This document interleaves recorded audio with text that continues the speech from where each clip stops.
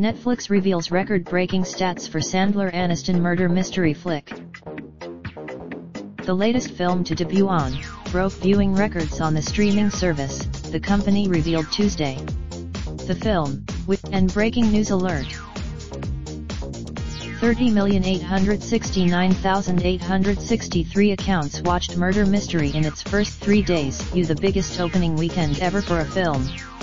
13,374,914 accounts in the US and Canada, and 17,494,949 more worldwide. You Netflix is a joke at Netflix is a joke.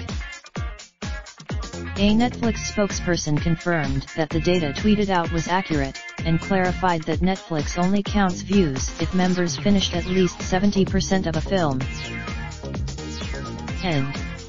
Netflix's deals Netflix used to keep its ratings secret, with executives arguing that such data didn't matter for a subscription service that wasn't relying on advertising.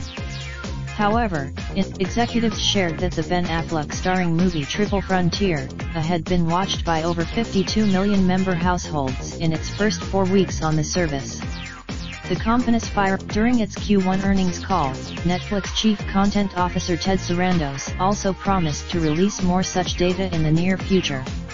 Over the next several, as part of that initiative, Netflix related video murder mystery Jennifer Aniston and Adam Sandler via Eden Line.